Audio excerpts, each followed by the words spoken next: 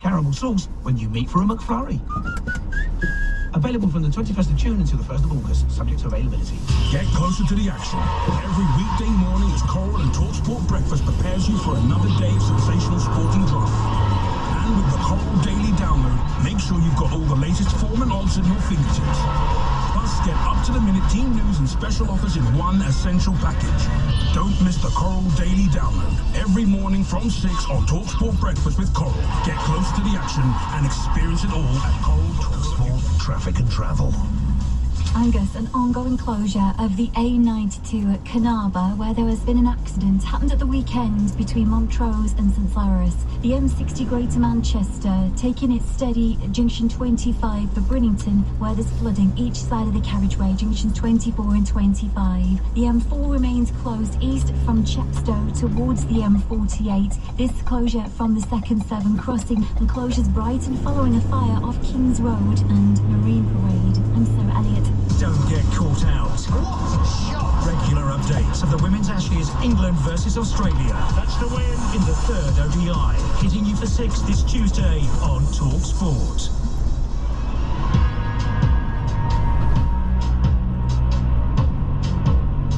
You would have seen this coming. You've seen this coming six months ago. He's not been playing. When you play Luke Shaw in front of him, straight away I would have got the bus outside. I'm off.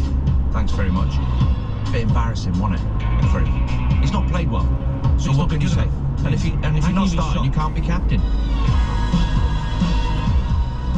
That was Dean Saunders on Talksport Breakfast this morning, talking about Harry Maguire and the Breakfast Show back tomorrow morning, 6 a.m. Natalie Sawyer and Gabby Agbonlahor on your radio from 6 a.m. tomorrow morning. Uh, ben, a Manchester United fan, Stuart in Liverpool uh, are with us now. They've called 03717223344 after Harry Maguire was stripped of the Manchester United captaincy. Let's speak to Stuart. Hello, what do you want to say?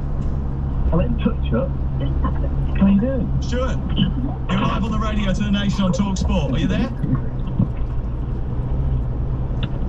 Let's go to Ben instead. Ben, hello. Morning, how you doing, boys? All right? Yeah, we're good. Yeah, Thank we're you very much. Thanks for joining the program. Uh, give us your thoughts on Harry Maguire. Uh, well, first of all, if I'm honest, you know, I've been watching him for the past three or four years at Man United, and I personally think people are li- we're, we're a little too soft on him. Um, in, in my opinion, he's, he's a bit of a liability, really. When when you think about, you know, I hear a lot of people say that he, he's never really made mistakes for England, but you know, he, Giroud was his man for the free kick when, when, when France knocked us out, and you go back to even the Euro 2020 final, we conceded from a corner. It's something that is supposed to be, um, you know, a good point in Harry Maguire's game, and, and he's let us down both times there. But, uh, yeah, I think arguably those both both those two games probably were lost because of tactical inflexibility and and and you, know, you are playing two very good teams, by the way. You having a go at Gareth Southgate now? No, I'm just suggesting that you can't pin the blame on one man. But anyway, go on. No, I'm not suggesting that it was solely Harry Maguire's fault, but what I am saying is it will happen again. You know, he will be in situations, high pressure environments, and he will make another mistake. I don't believe he should be in England team going forward. But listen, I've got no personal axe to grind with Harry Maguire. He's never done me any wrong. I just don't think he's good enough for Manchester United. I don't think he's good enough if England wants to to really go to that next level and win a trophy. Because you you have to be honest, and this is not this is not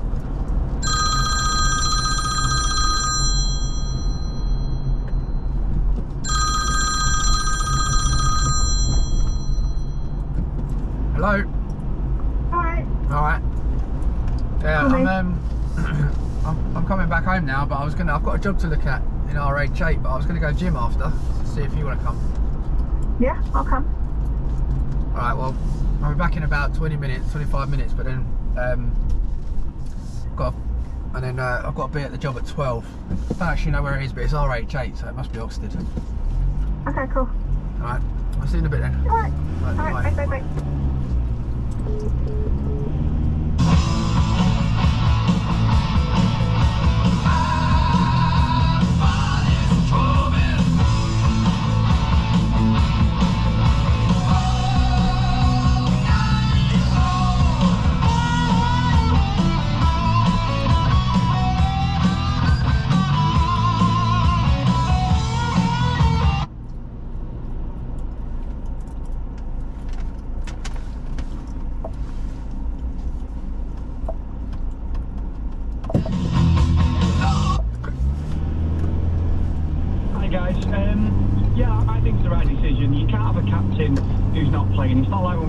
Brian Robson as club captain Steve Bruce was, you know, the, the match going captain. And I've watched them all season in the Stretford end and between him, De Gea and Lindelof. If they try and play Ten Hag's system, they pass it four yards to the right to the keeper and everyone just panics and we've, we've conceded so much possession, give away so many goals and silly mistakes like the, the cup final, just punting it up because he can't play out from the back. He's just too stiff a player. He's not got enough skill. He's a great defender as a tackler and header, but then he does get caught out. So for me, That- that's right strange though, Chris, isn't it? Because when they brought him in, one of his key characteristics at Leicester City and playing for England was his ability to carry the ball out of defence. Is this just really an indication that Erik Ten Hag is progressing this side and changing the way that they play? And the introduction of Onana, for example, and probably a more footballing centre back, is just the next step in the evolution of Manchester United. I I completely agree. I think you've got people on the left. Luke Shaw played because Ten Hag likes left-footed centre backs. He wants a right foot Varane. When he's fit, he's miles ahead. Even Lindelof had a renaissance at the end because he wasn't with Maguire. It's not having a dig at him.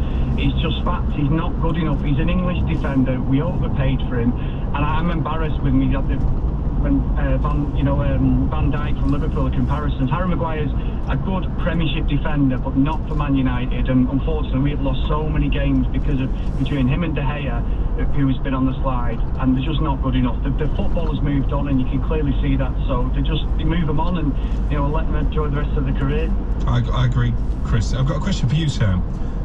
Harry Maguire, does he get into any of these teams? Manchester City, No, Liverpool, no, Arsenal, no. Newcastle. Um, possibly, Does he? possibly, yeah. Is he a better player than Sven Botman? Uh, not necessarily Sven Botman. Is he a better player than what we saw from Fabian Schär last season? Um, occasionally. He, could. He has the potential to be But better. by your own admission, Manchester United want to be regularly competing in the Champions League with the likes of City, Liverpool, and Arsenal. They want to be competing for titles. They want to be competing for the Champions League. So therefore, you- agree with me. He's not good enough to be a Manchester United player. I, I've just said, you just heard me, it was about three minutes ago, I don't know if you were listening, but the, the change in Manchester United's approach to football this is just natural turnover. They are upgrading their squad, it's the evolution of their squad. He was very good in a period when Manchester United were not very good. He was a useful acquisition for Manchester. Oh, David De Gea, David De Gea did a great job for Manchester United when they weren't a very good team.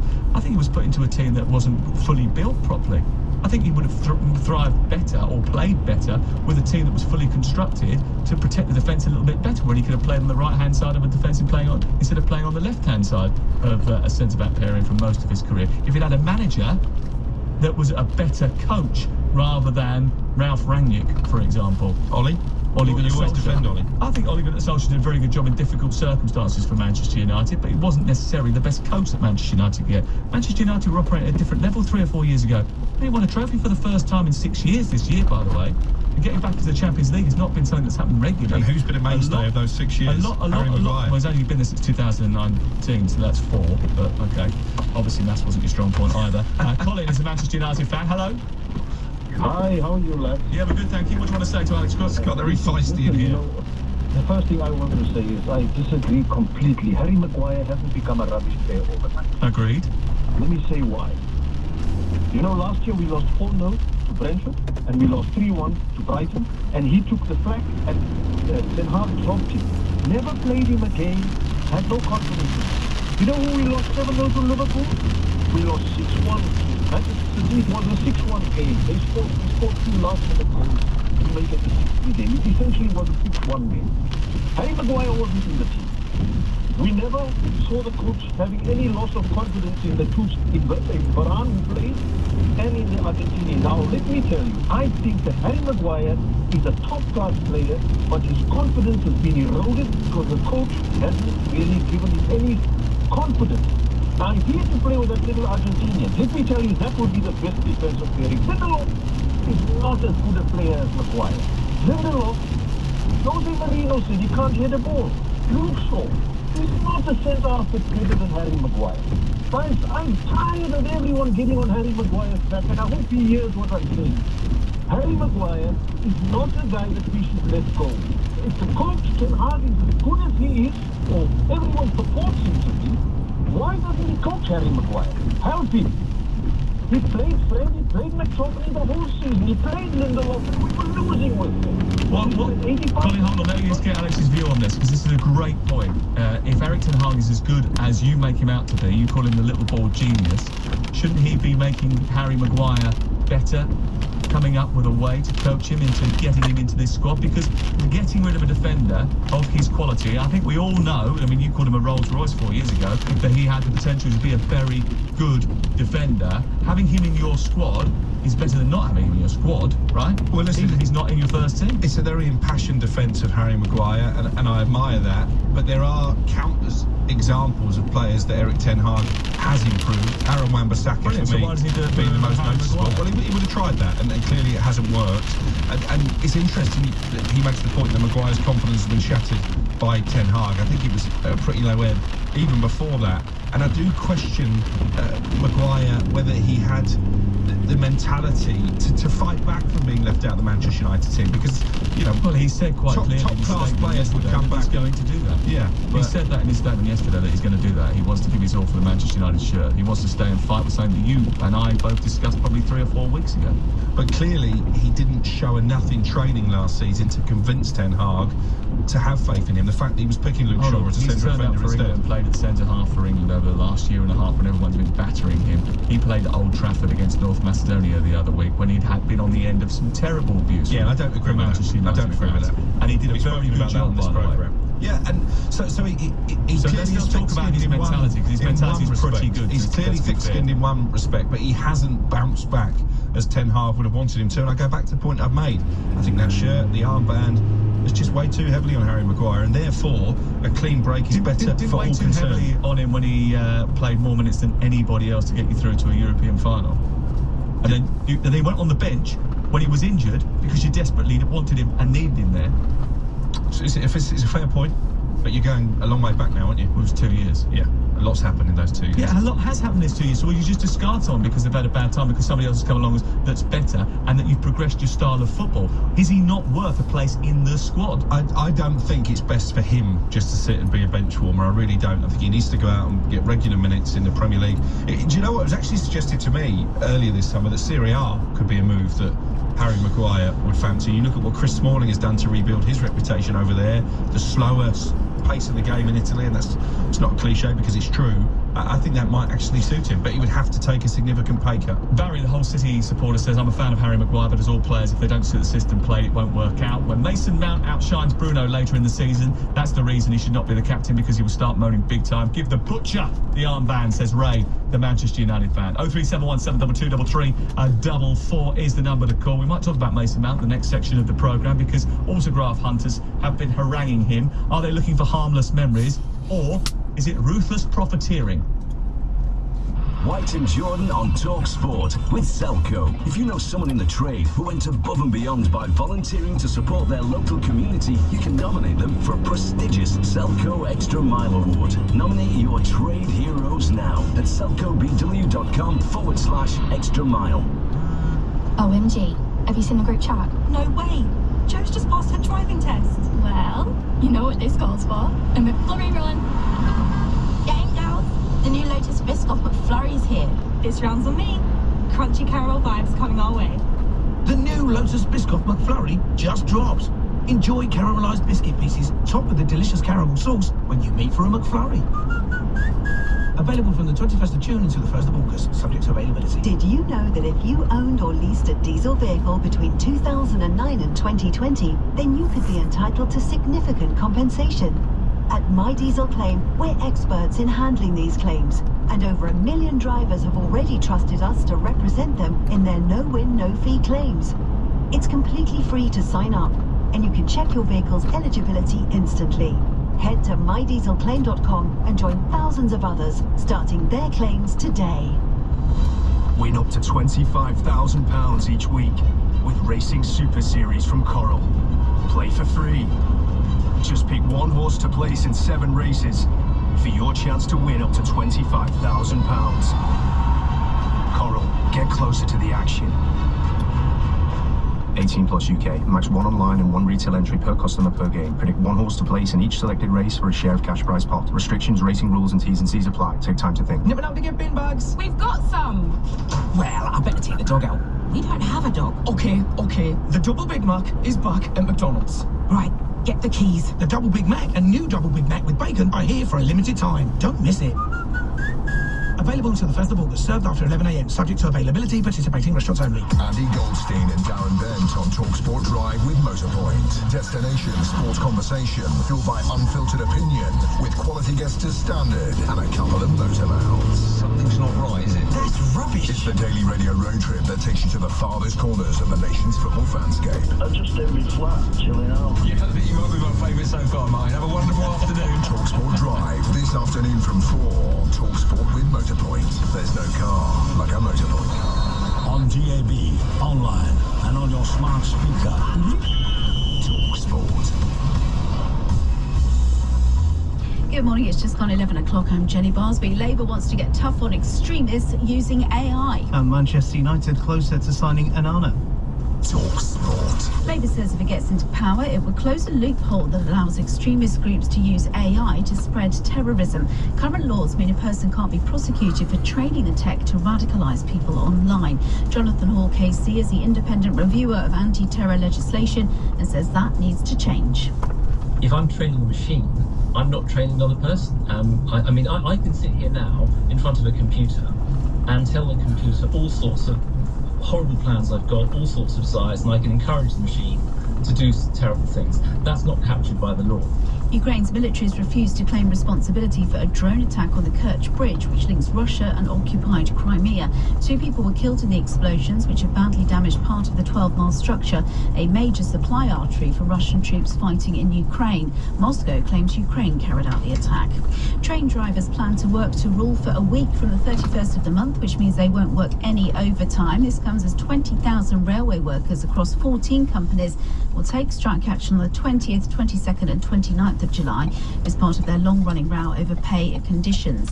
And a huge barge, which the government wants to use to house asylum seekers, is on the move to its new home in Dorset.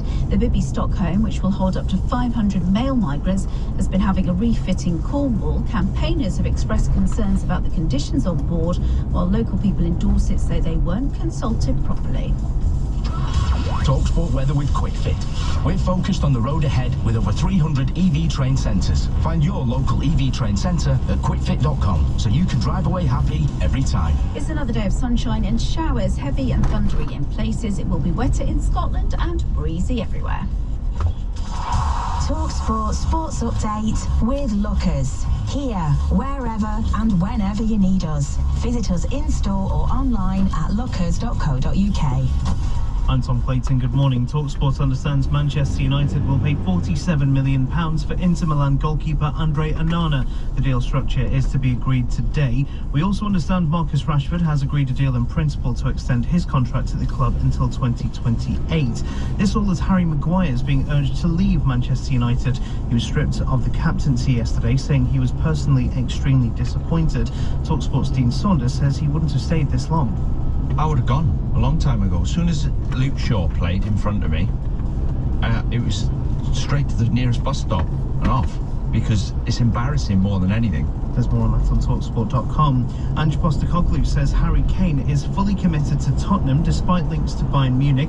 Speaking during their pre-season tour in Australia, the Spurs boss described a thoroughly uneventful first chat with the England captain. just a good chat. Um, you know, sort of uh, introduced myself and uh, yeah, we, we spoke mainly about the club and kind of where he thinks it's at and where he's, uh, you know, where he thinks we can sort of improve things and uh, training ever since. It's been good. Postecoglou has admitted Hugo Lloris wants to leave this club, leave the club this summer, though, saying he wants to open a new chapter in his career. James Anderson has been recalled for the fourth Ashes test at Old Trafford. He replaces Ollie Robinson, marking the only change to the team. It starts on Wednesday. And Novak Djokovic says Carlos Alcaraz has all the best traits of himself, Roger Federer, and Rafael Nadal. Alcaraz beat Djokovic at Wimbledon yesterday to claim his second Grand Slam title, aged just 20. There's more on TalkSport.com. Think you're ready for Sky's next generation full fiber broadband? Think again. You want it bigger. It's not just fast, it's full fiber fast. We're rolling out game-changing speeds on the UK's most reliable broadband technology. Get ready for broadband that blows you away. Sky Broadband Full Fiber. Built for entertainment. Selected areas only. Ofcom UK Home Broadband Performance Report, October 2022. See sky.com. Jim White and Simon Jordan. Mid-mornings on Talk Sport. Hard-edged, hard-nosed, hard to beat. The radio program where the only thing they agree about is the name. Highly charged, highly opinionated, highly recommended. Jim White and Simon Jordan. Mid-mornings on Talk Sport. You're listening to Matterface and Crook on Talk Sport. Uh, we're here through till one o'clock, sitting in for Jim and Simon uh, this week. Sam, Unai Emery has turned Tyrone Mings into a player unrecognisable from the previous season. Top coaching. Is Ten Hag this messiah? Lee and Stourbridge. It's a good point, isn't it? You know, coaching, you know, you can turn players into to assets again. If they've gone through a bad time, if things haven't worked out, look what happened with Tyrone at the early part of the season. And then look what happened to him towards the end. Ten Hag if he's uh, a little ball genius, he should do the same with Harry Maguire. Well, he's done it with Wan-Bissaka, he's done it with Marcus Rashford, he's done it to a point with Fred, he even did it with De Gea, probably you know a better season last season for De Gea than maybe the previous couple. So I, am not going to use Harry Maguire as a stick to beat Ten Hag with. You know that I think Ten Hag is is somewhat of a super coach, and uh, let's see this season if I'm proved correct. Uh, morning, gents. Arj, a West Ham fan here. Maguire would be great uh, for us, considering we're in Europe again. It's not too big a step down for someone looking to prove everybody wrong. I will take McTominay whilst we're at it as well. Uh, Lee, the West Ham fan. We're going to be uh, shortly discussing the fans who have been pestering Mason Mount for his autograph in just a few moments. Uh, but now we're going to turn our attention to Marcus Rashford, and he's set to sign a new five-year deal. Rashford is set to commit his long-term future to Manchester United after ag- agreeing a deal in principle uh, that will see him go until 2028. It's in the final stages of negotiation between the club and his representative, Dwaine Maynard. Um, Rashford did uh, receive one or two lucrative proposals from elsewhere, but the PSG thing, not so much. I think there was interest uh, a year ago, but certainly in this window when it started to rear its head again, I'm, I'm not convinced that ever really got off the ground. I think even a year ago it was it was loose interest. I think what fascinates me about this, and we've just been talking about Ten Hag's coaching, do you think Marcus Rashford this time last year would have been as inclined to commit his future to Manchester United? I think the answer is a definite no. But the way that he played last season, the way that he spearheaded the attack, the goals that he scored, I think he's earned the new contract, and I hope that he can continue on that upward trajectory now. Yeah, I think um, this time last year, if you would have suggested to me that there was a chance that Manchester United might cash in on him, I probably would have thought it's possible. There was talk of Arsenal, wasn't there? Bearing in mind that he'd gone through 18 months, two years of having a very difficult time. But his performances and his rebirth this season has been nothing short of spectacular. And I spoke to Erik Ten Hag about that, and he said to me one of the things that he did was pretty simple. He said, "I've got to make you happy. How do we make you happy?" Um, and they discussed it. They discussed where they wanted it. He wanted to play, how they wanted to use him. He's been used in two positions really this season. One is on the left-hand side, attacking him from the wing, mainly his best position, I think, if you look at his goals. And he's also been used as an out-and-out forward. Sometimes that's been towards the latter end of matches when he's been moved into the centre of the pitch. But uh, there's no doubt that uh, he is the way his runs are brilliant. You know, if you look at him, he makes several runs before he gets the ball. A lot of times he's making darts in behind and no one spots him. He's, uh, he's, he's a willing runner. He never gives up the chase, and uh, he's uh, he's he's been durable this season as well. And, and Erik Ten Hag actually has to deserve credit for that because during the Manchester derby at Old Trafford, which Manchester United won, he scored in that second half he uh, he looked as if he could walk at one stage mm. and he was hobbling around and that was before half time but I asked Erik Ten Hag whether or not he thought about taking him off. He went oh no uh, this is this is the Premier League. You have to get through it, and, and, that's a sign of the improved mentality as well. Because I think under previous managers, Rashford wouldn't have reappeared for the second half. He, he would have succumbed to injury, but he didn't. And as you say, played a key part in that victory. One person we haven't mentioned when it comes to the resurrection of Marcus Rashford is Benny McCarthy, the striker coach at Manchester yes. United. I think he deserves a lot of credit as well because if you look at the improvement in Rashford's finishing, some of the chances that he took last season, he would have missed previous years. Yeah, and also I think Benny McCarthy's been very good in terms of uh, building up the belief of some of the players as well. We, we, sort of spoke to him earlier in the season, and he said, you know, this was a club whose morale was really low when they new coaching staff walked in the door, and they've done a lot to try and build them up. You'll see them, and would have seen them, especially at the beginning of the season, sort of giving each other high fives when they blocked a shot and it went out for a corner. You might remember there was sort of like that that sort of lots of touching and sort of building each other up. And that was something that they said they had to put into the team in order to raise the mental level of, of, the, of the group. And if they can keep doing that, and the, the world is their, their the, oyster. the other point I'd like to make when it comes to Marcus Rashford, and this goes back to what we were speaking about last week, the Dele Alli situation and, and some of the abuse that he's taken on social media. I do think that Rashford was more affected than we realise by the racial abuse that he suffered after missing that penalty at the Euros. I don't think anybody really took that into account when it came to his loss of form. It takes a, a strong mentality to bounce straight back from that. And I think it took Marcus Rashford a bit longer than, I think, say, I think Bukayo Saka. Uh, nosedives before that, though. I think he had serious issues with his back, which had caused him problems, and it made it very difficult for him in the in the build-up to the European Championships as well. And I think if you factor in the centre of attention that he became during the COVID lockdown, well, I'm not necessarily sure he was comfortable with the limelight as much as people make out. If you fact he missed and the racist abuse, the injury that he suffered over that period. There was a he had relationship issue as well, issue as well during that period too. All of those things contributed to a downturn in form. What Marcus Rashford has to